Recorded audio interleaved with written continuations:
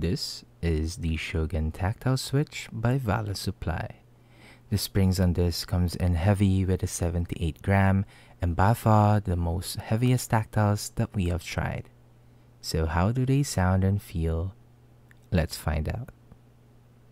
What's going guys, Ox here and welcome back to my channel. We are back with yet another Switch review and this time we are trying something new and let's all take a look and listen at the Shogun switches by Vala Supply. This is a tactile switch with a heavy 7-8 gram springs, which is by far my most heaviest tactile that I have tried. The switches comes in in packs of 10 for $69.90. Nice. They also said that they come in pre-factory lube, so I'm very much excited for you guys to hear the sound test and hear my opinion about them. By the way, the switches were sent for a review but I wasn't paid to make the video and Vala Supply didn't see the final script, so of course I'll give you guys my honest and unbiased opinion about their switches. I'll go ahead and put Vala Supply links on my description down below, so if you can, please do check them out. So in today's video, it's going to be the usual a stock versus lube comparison and a sound comparison versus the other tactile switch. And of course, we'll also do the material breakdown of the switches. If you all want to hear my own thoughts and opinion about the switches, please do stick around at the end of the sound test. And speaking of sound test, let me give you guys a quick disclaimer before we start that the sound and experience will vary depending on your keyboard build, meaning to say that it might feel and sound different on your board. We of course be using the Vega 65 with a polycarbonate plate, a PCB to platform, and one case film. The switches was lubed with a Tribosys 3203 and 105 grade 0 on the springs.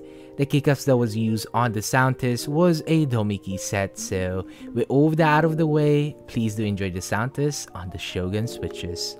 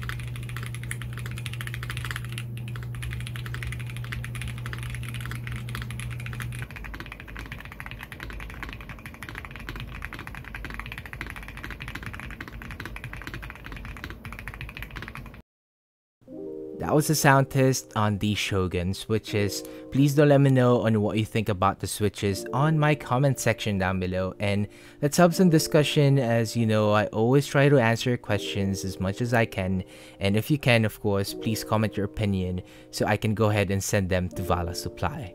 Before we talk about my own thoughts and opinion, you already know what's next. Let's break down the materials that was used on the switch. As you can see, these are a 5 pin switch. And is using an MX style housing. So we have BME for the top housing.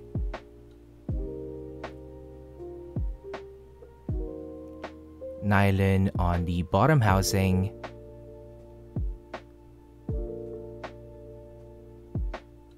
and of course our favorite pom for the stem.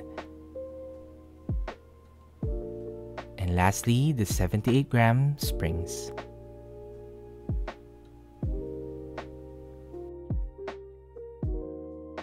So that was a mature breakdown of the Shogun switches and if you made it up to this point of the video, I would like to say thank you so much for staying and again, reminding you that the sound and experience may vary depending on your keyboard build, so it might feel and sound different on your keyboard.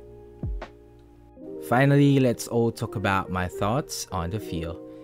On stock, it was okay, but not to the point that they are smooth out of the box and no means that I recommend using them on stock. It did have that raw plastic feeling to it, but it's not like the other tactiles that we have tried on stock. You can also slightly feel a crunch on the leaf, but it's just me being nitpicky. Of course, you know me, I don't really like using tactiles on stock, regardless if they would come in pre-factory lube. So we have lubed them and I lubed Dine lightly using Tribosys 3203, focusing on the rails and avoiding the stem legs. The spring was okay, so I didn't really focus on bag lubing them. Once lube, it felt so much better, like it's a really night and day experience. I mean, given that this is a tactile switch, which means that lubing them would really make a huge difference, unlike linears nowadays. But of course, this varies depending on how you lube your switches. Now for the important part, the tactility and that 78 gram springs. The tactility on this is more on the early to mid rounded bump. And honestly I can say that for most they can find this harsh or aggressive at first. But once you get the use of it it's really satisfying. Like you can really feel the tactility.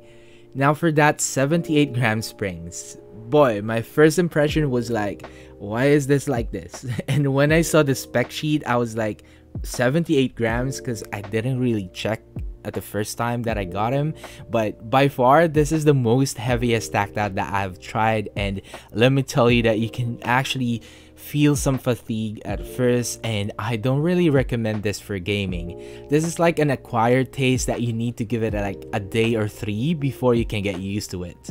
I've used this for almost like 4 to 5 days now and I can still notice some slight fatigue when typing on them. But yeah, they feel really nice once you get used to it, and the tactility, they really do feel satisfying, but it's not something that I would use on a daily, and I still find it them heavy at times. Moving on on the sound, on stock, you can hear that plastic raw feeling that I always talk about, plus a little bit of leaf crunch. But it did stay true to what they said on the website that there are no noticeable spring pings or pings in general. They did say that this comes in pre-factory lube, but you know, same as the feel, I don't really like the sound of my tactiles on stock, regardless if it's pre-factory lube. Once lube, it sounded more subtle, of course, so it has that deep poppy sound profile in which I really like and I have no complaints on the sound as you can actually hear the tactility as well. I can say that I like these over the fantasy tactile switches that we have reviewed and just like the tactility, the sound is just satisfying over time. Overall, I can honestly say that it is a refreshing tactiles and while it's heavy, it has that satisfying tactile feel for each key press and it just feels solid. but I still stand by to my opinion that this might be an acquired preference as it is indeed heavy at first, so be warned. If you are looking for something that's different in tactiles, I do recommend checking out the Vala Shogun switches and I highly suggest to get pack of 10 first just to have a feel on the 78 gram and go from there once you like it. So yeah, that is it for the video guys. I know this is quite long, so hopefully you like the video and Hopefully you find my insight helpful and if you do, please don't forget to hit the like button and let's aim for the usual the 50 likes. I know we can do it. What's next? Well, we do have another Vala supply switch coming in, and this time it's a linear. Plus, we also have the new Akupom switches, so please stay tuned for that as we are grinding out the September. Again, don't forget to hit the like button, share if you want, and of course, subscribe for more. And I'll see you guys on the next sound test. Peace.